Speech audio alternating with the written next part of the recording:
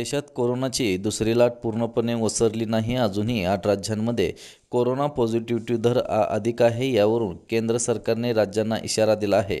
या पार्श्वभूमीवर नव्या केंद्रीय मंत्रिमंडळाची आज बैठक झाली. केंद्र सरकारने कोरोनाविरुद्ध लढाईचा सामना करण्यासाठी तेवीस हजार कोटीच्या दुसऱ्या पॅकेजचीही घोषणा केली आहे. केंद्र सरकार पंधरा हजार कोटी देईल आणि राज्य सरकार आठ हजार कोटी रुपये देतील. सातशे छत्तीस जिल्ह्यांमध्ये पिडेट्रिक युनिट बनव बनवण्यात येतील. वीस हजार आय सी यू बेड तयार केली जातील. कोविड हॉस्पिटल्स एकशे त्रेसष्टवरून वाढवून ती चार हजार तीनशे एकोणनव्वद केली जातील. ऑक्सिजन बेडची संख्या पन्नास हजाराहून चार लाख सतरा हजार तीनशे शहाण्णव इतकी केली जाईल असं नवीन आरोग्यमंत्री मनसुख मांडविया यांनी सांगितले. नवा महाराष्ट्रासाठी ओंकार पिसाळ